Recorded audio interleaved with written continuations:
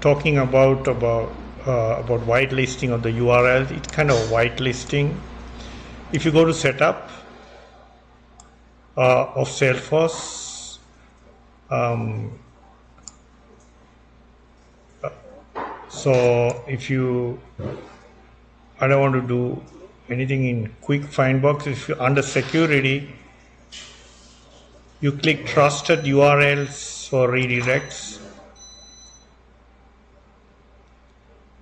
so you trust the URL so that's what it says it's pretty much like whitelisting allow URLs for redirects allow redirects outside the Salesforce domain to trusted URL without showing the user a warning message. So in order to create a new trusted URLs for redirect, you click new. You type any uh, URL. So java.com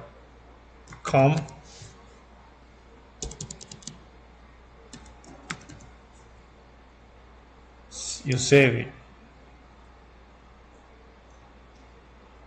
so any anybody clicks java.com will not be prompted with a warning message they can freely navigate to this uh, new site. This is how it works. This is allow URL so you can enter HTTP yes or HTTP but they are optional